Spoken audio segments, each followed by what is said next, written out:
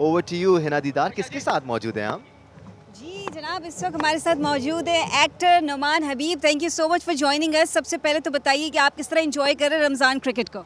Ramzan cricket तो बचपन से इंजॉय करते आए हैं और स्पेशली ये जो D H A sports club Mulk Khan academy में ये टूर्नामेंट हुआ है इसका ओपनिंग मैच हम लोगों ने खेला था सेलिब्रिटी वर्सेस सेलिब्रिटीज़ और ये हर साल होता है बीच में दो साल जो है कोविड की वजह से नहीं हो पाया था.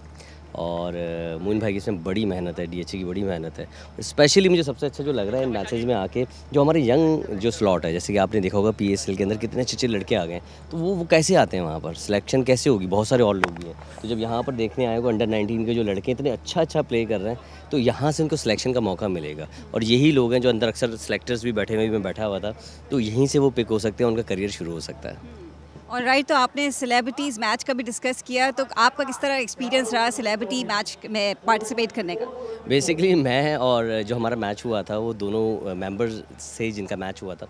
और पाकिस्तान के बड़े बड़े नाम हैं, फ़ाद, मुस्तफ़ा है, हुमायूं सईद है, फैसल कुरैशी है, बहुत बड़े बड़े नाम हैं जो यहीं के मेंबर हैं और हम लोग तो यहाँ मैचेस खेलते रहते हैं। ये तो हमारा होम ग्राउंड है और ये ग्राउंड बहुत ही कमाल है और ये फैसिलिटीज़ जो है, कहते हैं ना कि हम जब छोटे थे, हमें नहीं मिली थी, हम लोग जो है सीमेंट पर खेलते रहे।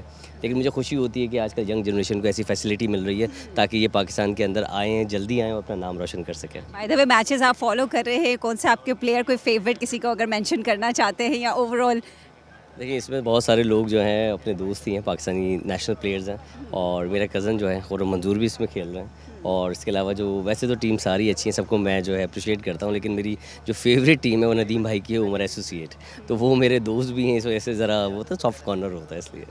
Thank you so much Numan So that's it. Back to the commentary box.